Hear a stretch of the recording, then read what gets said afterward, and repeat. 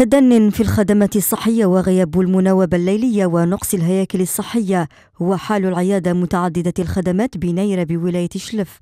عوامل جعلت سكان البلدية يطالبون بمستشفى أو عيادة مجهزة بطاقم طبي وعتاد متطور. هنا يمرض الطفل يديه للزبوجة ولا مات مع طريقة صي الله يرحمه. العيادة خاصنا ديسبونسار يكون لا كلينيك جديدة.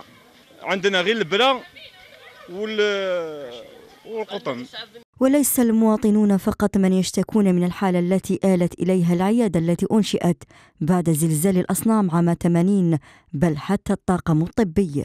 الضغط اللي راه صار واقع هنا عندنا parce que ذاك الوقت تبنات على عدد سكان معين واليوم عدد السكان اصبح vaste واسع ماذا بينا تكون عندنا maternité ماذا بينا تكون عندنا راديو؟ ماذا بينا تكون عندنا سيارة إسعاف جديدة؟ parce que هذه السياره تاع البلدية bien dépannاتنا.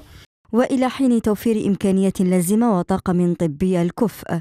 بهذه العيادة المنسية يبقى سكان بلدية بنيرة يتكبدون عناء التنقل إلى العيادة المجاورة من أجل تداوي والعلاج.